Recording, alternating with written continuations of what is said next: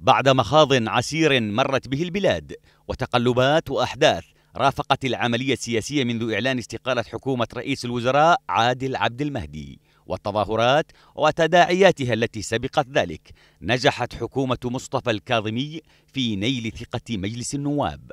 الكاظمي تعهد من خلال منهاجه الحكومي بتحقيق عدد من الأمور على المستويات الأمنية والاقتصادية والسياسية. على المستويين الداخلي والخارجي.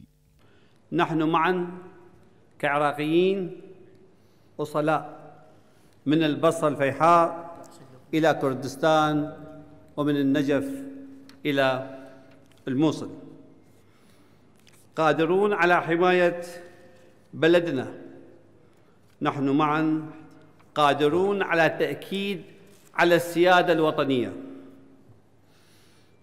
وتجاوز الأزمة الاقتصادية وحماية شعبنا من المخاطر الصحية.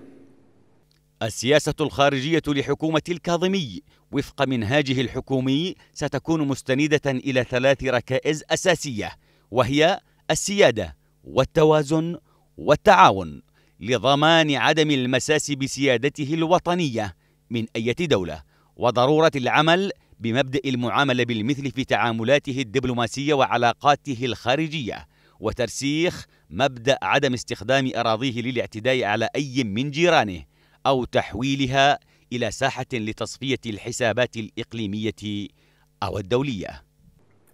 العراق يسعى إلى علاقات الأخوة والتعاون مع الأشقاء العرب والجيران والمجتمع. الدولي.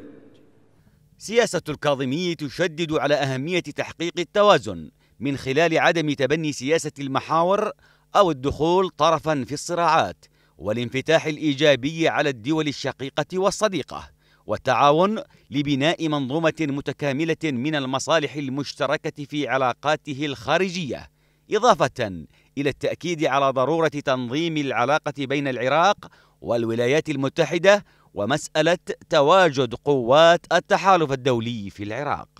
عوامل نجاح الكاظمي أصبحت متاحة منذ اللحظة الأولى لنيل حكومته ثقة البرلمان عبر ردود الأفعال الإقليمية والدولية المرحبة والمهنئة بتوليه رئاسة الوزراء. بدأت بترحيب أممي من قبل المبعوث بلاسخارت إضافة إلى ترحيب القوى العالمية ومنها الولايات المتحدة وبريطانيا وصولا إلى الطرف الآخر بالمعادلة الإقليمية ونقصد به إيران.